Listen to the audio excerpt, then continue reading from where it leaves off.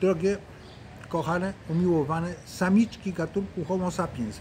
Samiczki, te, które, którym się wydaje, że wy wszystko wiecie o facetach.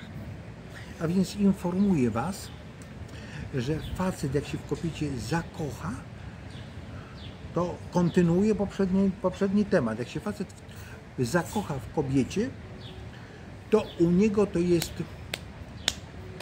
trudne do skruszenia jak żelbeton.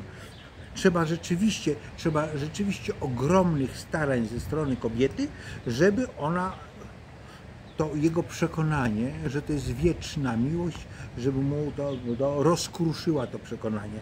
Owszem, kobiety są w stanie, szczególnie jak się taka kobieta zdecyduje na zmianę obiektu miłości, czyli urodzi sobie dwójkę albo trójkę dzieci, to ten facet już przestaje być jej zupełnie potrzebny. I taka kobieta w tym momencie to nie jest moment, to są lata potrzebne na to, żeby mu wytłumaczyć, żeby on jednak się zdecydował pójść w długą, to znaczy, żeby sobie poszedł w świat. Facet bardzo niechętnie, bardzo niechętnie zosta zostawia taką kobietę z dziećmi, a jeszcze niechętnie zostawia takie dzieci z kobietą.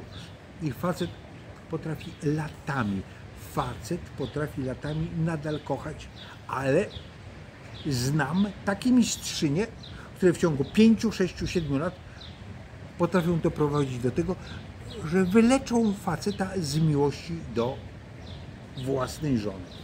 I taki właśnie jeden przypadek, taki jeden przypadek takiej kobiety, która e, latami się starała wyjaśnić swojemu mężowi, że, że jest niepotrzebny, a że była bardzo zdolna, to po siedmiu latach mu to wyjaśniła i on w to rzeczywiście uwierzył i poszedł sobie w siną dal. A ona teraz przychodzi do mnie i płacze. Jak ona go może odzyskać? Czy to znaczy, że u kobiety rozum się pojawia raz na 7 lat tylko?